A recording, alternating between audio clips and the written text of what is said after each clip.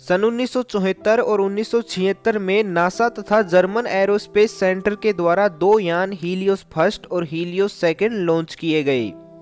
ये दोनों ऐसे यान थे जो सूर्य के नज़दीक जाकर उसका अध्ययन करने वाले थे। इन दोनों प्रोब्स ने करीब एक दशक तक सूर्य को ऑर्बिट किया।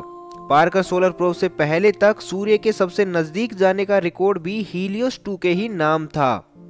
यानी हीलियोस टू ऐसा पहला यान था जिसने सबसे पहले सूर्य से करीब 44 मिलियन किलोमीटर की दूरी पर रहकर सूर्य का अध्ययन किया। लेकिन अब लगभग 45 सालों के बाद जब एस्ट्रोनोमर्स के द्वारा हीलियोस प्रोब से प्राप्त डेटा को री एग्जामिन किया गया तो सूर्य के कुछ नए रहस्यों का पता चला। जो आने वाले समय में सूर्य के सबसे बड़े रहस्य कोरोना के हाई टेम्परेचर पर से पर्दा उठा सकता है। स्वागत है आप सभी का रहस्य टीवी में और मैं हूँ कुलदीप। तो चलिए शुरू करते हैं। हमारे सौरमंडल का एकमात्र तारा सूर्य स्पेस में लगातार गर्म आवेशित कणों को रिलीज़ करता रहता है, जिसे हम सोलर विंड के नाम से जानते हैं। हालाँकि आज तक हम सोलर विंड के ओरिजन्स और इम्पैक्ट को भी पूरी तरह से नहीं समझ पाए थे कि इसमें एक और मिस्ट्री ऐड हो गई। दरअसल, जनरल ऑफ़ जियोफिजिकल रिसर्च के फरवरी 2019 के अंक में छपी एक न्यूज़ के मुताबिक, प्रत्येक एक या दो घंटे में सोलर विंड में अंतर्निहित प्लाज्मा अप्रत्याशित रूप से काफ़ी गर्म और डेंस हो जाता है। ये प्लाज्मा तीव्र गति के साथ सूर्य से बाहर की ओर निकलता है तथा सोलर विंड के साथ पूरे स्पेस में फैल जाता है। ऑफिशियली रूप से इन सोलर ब्रफ्स को पीरियोडिक डेंसिटी स्ट्रक्चर के रूप में जाना जाता है। लेकिन एस्ट्रोनोमर्स इनके लिए द ब्लोब्स निकनेम का यूज़ करते हैं, क्योंकि ये प्लाज्मा किसी लावा लैंप में ब्लोब्स की तरह ही दिखाई देता है। हालाँकि एस्ट्रोनोमर इन ब्लोब्स के बारे में करीब दो दशकों से जानते थे, लेकिन फिर भी इनका उद्गम और इम्पैक्ट आज तक रहस्य ही बना हुआ था। यानी ये बिल्कुल वैसा ही था जैसे ब्लैक होल की सैडो की इमेज सामने आने से पहले हम ब्लैक होल्स के बारे में जानते तो थे कि ब्लैक होल्स होते हैं, लेकिन हमारे पास उनका कोई प्रॉपर एविडेंस मौजूद नहीं था।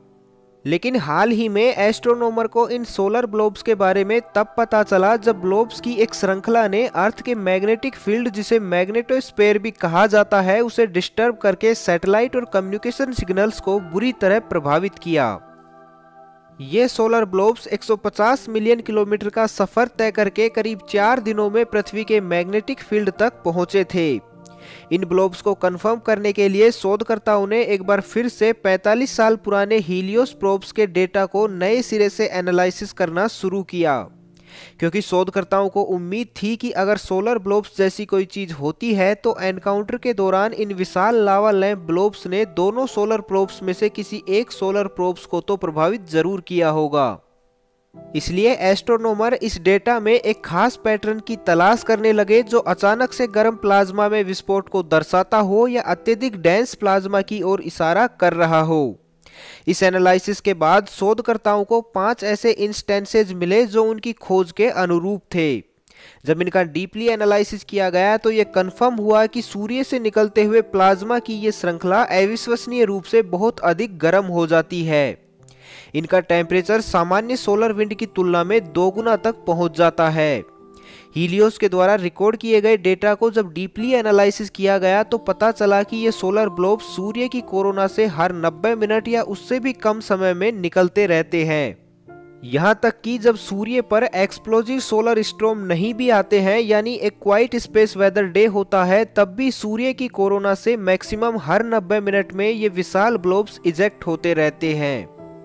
सोलर ब्लोब्स पृथ्वी के कंपैरिजन में करीब 50 से लेकर 500 गुना तक बड़े होते हैं। और सोलर विंड की हेल्प से अंतरिक्ष में फैलते हुए अपने आकार को लगातार बढ़ाते रहते हैं। ये सोलर ब्लोब्स सामान्य सोलर विंड की तुलना में बहुत अधिक डेंस होते हैं। यानी अगर सोलर विंड की तुलना पानी से की जाए तो सोलर ब्लोब्स पारे की तरह डेंस होंगे। हाल ही में जब इन ब्लोब्स ने पृथ्वी की मैग्नेटिक फ़ील्ड को प्रभावित करके एस्ट्रोनोमर्स का ध्यान अपनी ओर आकर्षित किया तो एस्ट्रोनोमर्स ने पृथ्वी की मैग्नेटिक फ़ील्ड की रीडिंग कलेक्ट की। जब इनका एनालिसिस किया गया तो पता चला कि जब सूर्य से निकले प्लाज्मा के ये विशाल ब्लोब्स अर्थ के मैग्नेटिक फ़ील्ड के पास पहुँचते हैं तो इनमें इतनी ताकत होती है कि ये अर्थ के मैग्नेटिक फ़ील्ड को भी कंप्रेस कर देते हैं। और सैटेलाइट तथा एवरीडे कम्युनिकेशन सिग्नल्स को कई मिनट से लेकर कई घंटों तक प्रभावित करते हैं।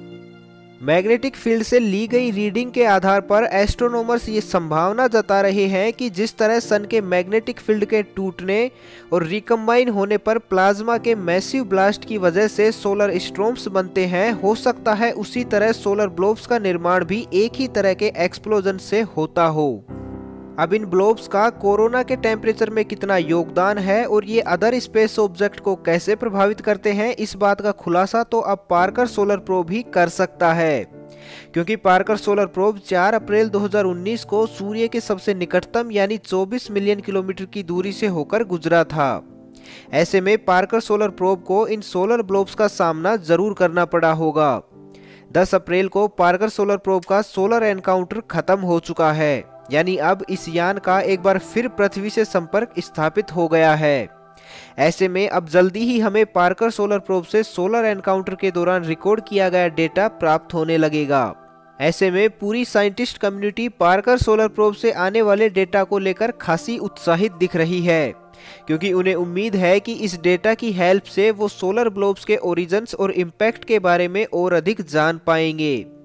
तो बस अब इंतज़ार है पार्कर सोलर प्रोब से डेटा के डाउनलोड होने का, ताकि हम सूर्य को और अधिक नज़दीक से जान सकें। तो बस आज के लिए इतना ही। मैं मिलता हूँ आपसे अगले शनिवार शाम छह बजे एक नए रहस्य के साथ। तब तक के लिए खुश रहें, मस्त रहें, हँसते रहें। भगवान करे आप सभी का दिन शुभ हो।